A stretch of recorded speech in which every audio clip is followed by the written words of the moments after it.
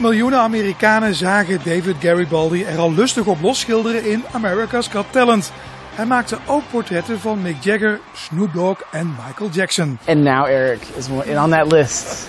Ja, het is natuurlijk een eer als je, als je door hem uh, geschilderd wordt. Ja. Daar ben ik echt uh, daar ben ik trots op. Yeah, I can hear you guys. It takes about six minutes or so uh, to create the painting, and I'm moving around on stage. I'm getting the audience to cheer. It's like a like a concert.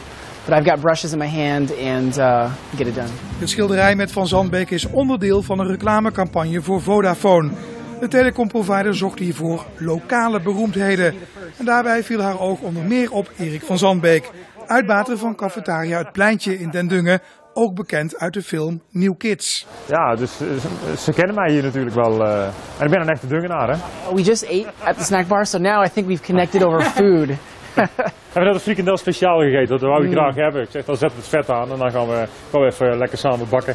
Binnenkort is Eriks portret overal te zien op reclameposters, maar het originele schilderij krijgt een ereplekje in de zaak van Erik zelf. Well, I'm, I'm honored. It's okay. my painting. Okay. That's cool. Een goede slot op de deur en dan... Uh...